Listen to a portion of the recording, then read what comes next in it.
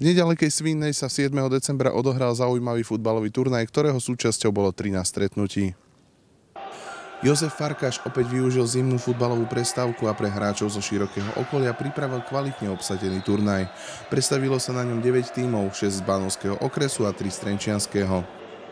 Sú tri skupiny po troch družstiev a prvé tri celky postupujú do semifinále a druhé družstvo, ktoré bude na lepšom mieste na druhom mieste. Po odohraní základnej časti sa medzi štvoricou najlepších prešmykli Krásna Ves, Trenčianská turná a neskorší finalisti Veľká Hradná a Svinná.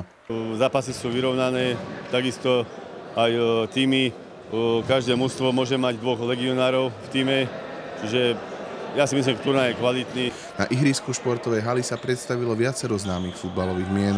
Máme tu dvoch kvalitných hráčov, je tu Maťo Liška, vlastne odchovanie z Banovského Spartaku, momentálne hráčom Vesteníc a ďalej Juraj Laco, takisto odchovanec.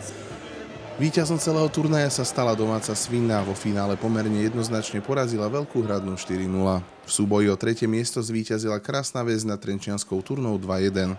Pre celkovo štvrtý tým turnaja bolo akousi cenou útechy záverečné individuálne ocenenie hráčov.